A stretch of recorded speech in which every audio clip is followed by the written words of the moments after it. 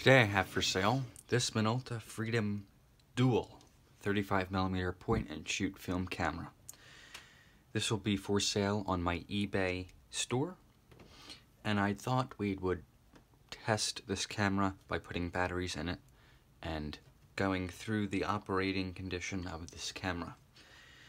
This camera takes four AAA batteries or one 6 volt CR25 battery I am testing this camera with triple A's.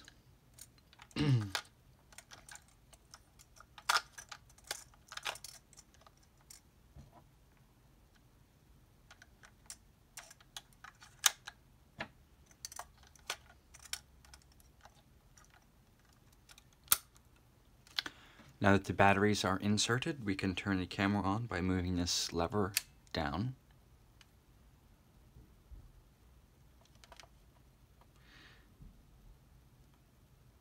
So the camera is now on and the lens is exposed. The lens will not open up until the shutter button is pressed. So let's do that now. This is also equipped with an autofocus motor, which will automatically focus the lens. So the flash is also automatic, and there's no way to turn the flash off. So you did see the flash fire. If I turn this light off again, you can see it flash clearer. So the flash capacitor is working correctly and the lens is opening up and the lens is moving out to autofocus the camera. So we can open the back of the camera. We can look at the inside condition.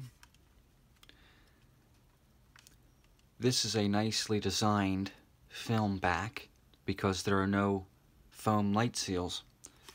The camera was designed by Minolta to mate with the back of the film. You could see the ridges here.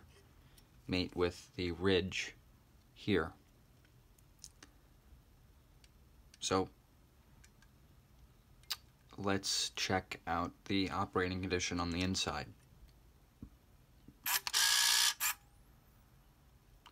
Let me cover that flash so you can see the camera operating. Alright, so you saw the lens open up and the shutter open up and the auto drive, the auto winder, wind on the film we can close the camera now and change the focal distance of the lens. So this red button will change the lens selection. So we can see that the lens popped out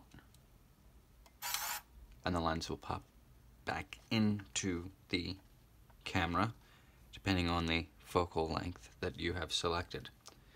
I have also verified that the viewfinder also moves with the lens selection. The batteries will not come with this camera, but I also have to note an area of cosmetic issue. Right here on the bottom of the camera, you can see that the plastic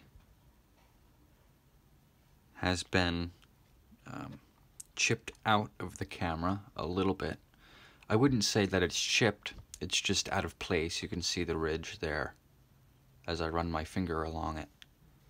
So I'm not sure that there's any way to pop it back in, although I can try to with a screwdriver.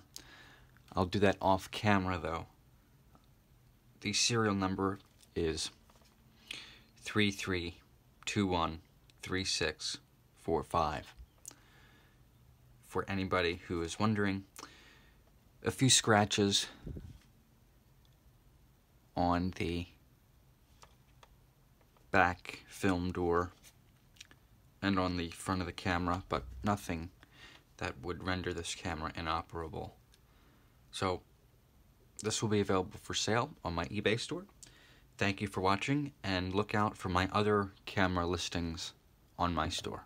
Thank you.